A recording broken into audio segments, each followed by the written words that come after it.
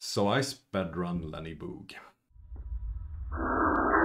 The backstory is that when Leenie Boog first came out uh, earlier this month, end of December.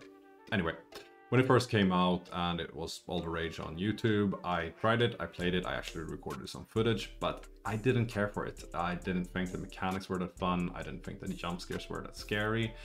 I thought that the backstory with the collectionarium and stuff was pretty cool actually, and I would like to see more of that, but the, the core gameplay didn't didn't really catch me. So after I tried out the speed run in World of Horror, if you haven't checked out that video, check out the link here, I suppose.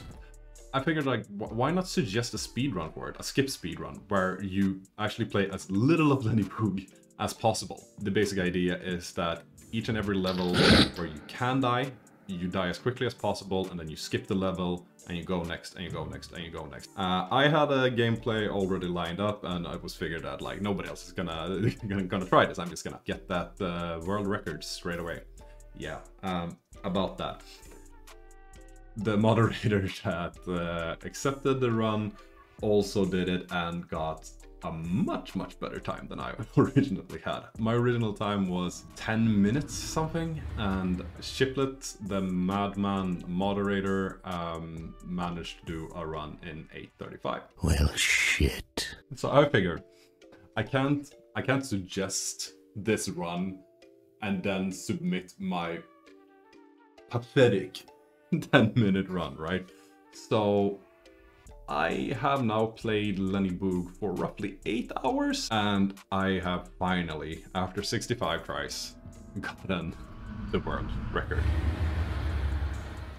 For a game that I don't particularly like. Why did I do this again? oh well.